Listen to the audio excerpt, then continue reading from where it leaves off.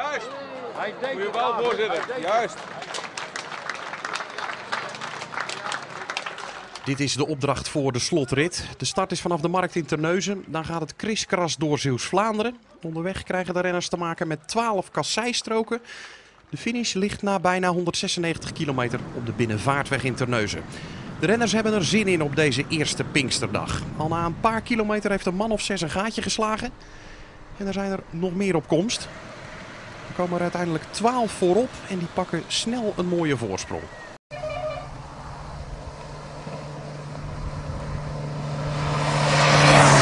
bij de tweede etappe van de vierde internationale Delta Tour Zeeland. Een etappe van 195 kilometer van Terneuzen naar Terneuzen.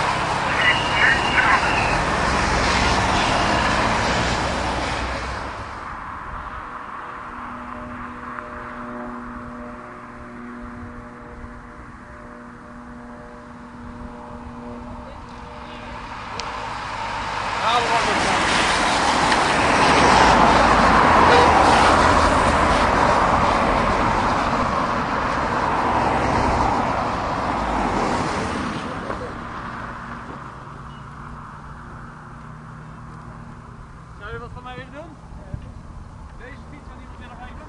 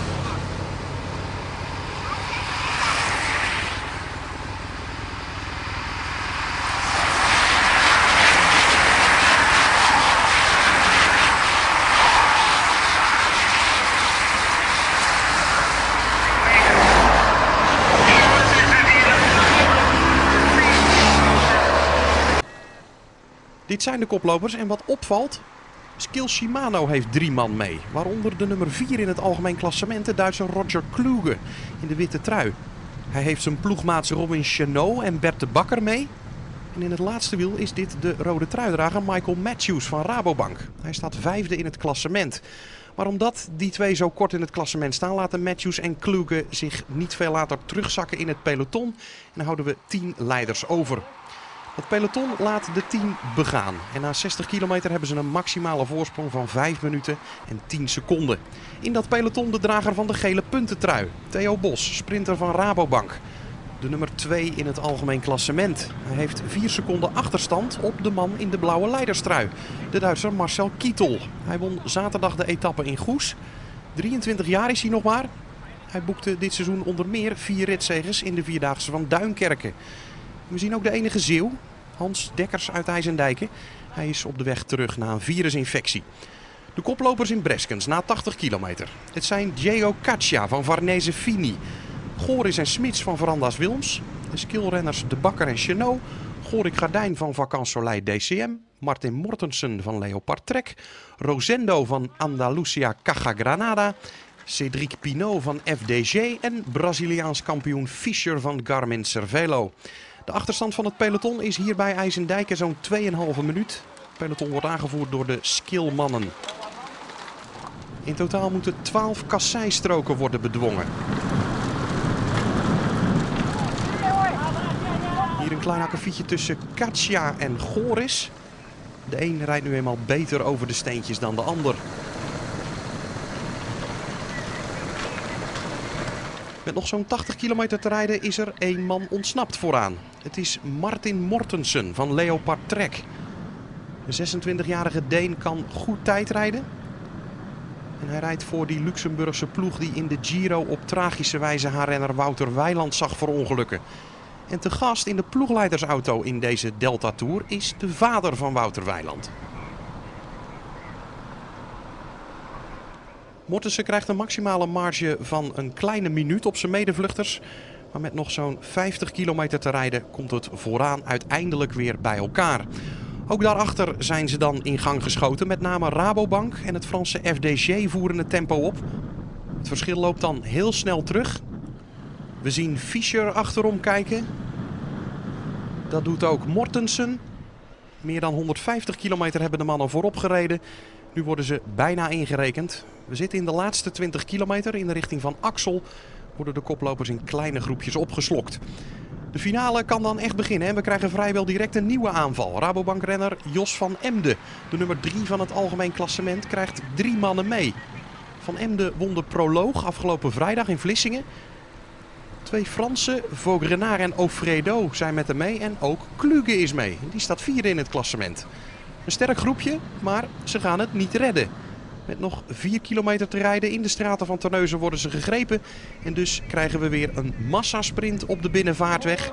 Iedereen let op Kietel in het blauw en Bos in het geel. In Goes de nummers 1 en 2, maar zij gaan het in Terneuzen niet redden. In het zwart-wit is het de Belg Steven Kaathoven van Veranda's Willems die het haalt. Voor Bosmans en Hammond. Een verrassende top 3 toch wel. Bos eindigt als zesde, Kietel als zevende. Maar het is genoeg voor de Duitser voor de eindzegen. Hij houdt 4 seconden voorsprong op Bos en 6 seconden op Van Emde, Kluge en Matthews. U ziet de top 8 in de eindstand en Hans Dekkers uit IJsendijken. Hij eindigt in het peloton en wordt in de eindstand 64ste.